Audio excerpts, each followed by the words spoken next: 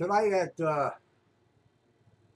7.30 Eastern Standard Time, we're going to do a live stream. I got $200 in halves, which your customer rolled, but I was assured by the teller. What are these guys doing?